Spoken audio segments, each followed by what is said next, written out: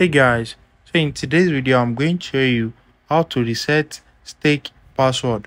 So if you want to change the password on your stake account, let me show you.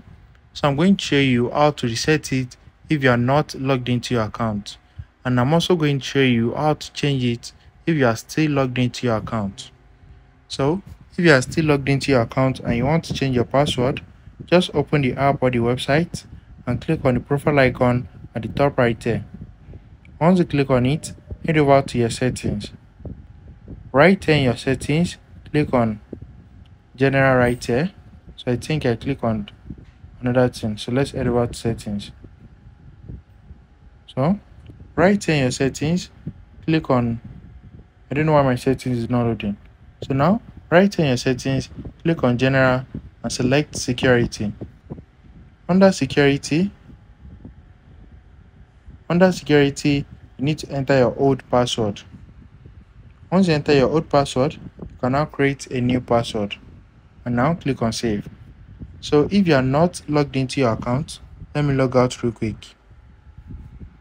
So if you are not logged into your account and you want to reset your password, just click on login right here at the top.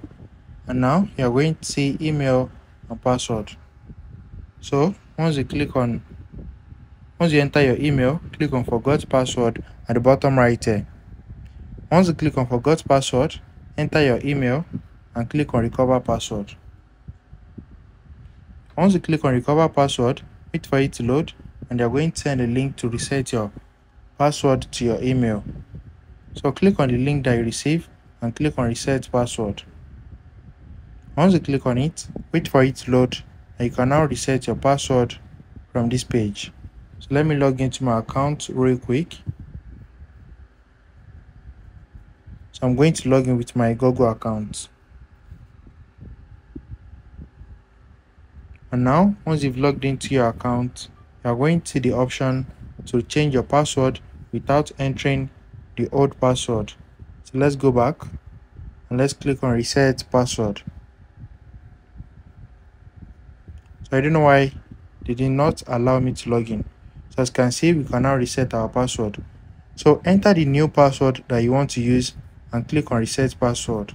Just enter the new password. You don't have to enter the old one and click on reset. So you can now log into your account with the new password. Found this video helpful, smash the like button and subscribe.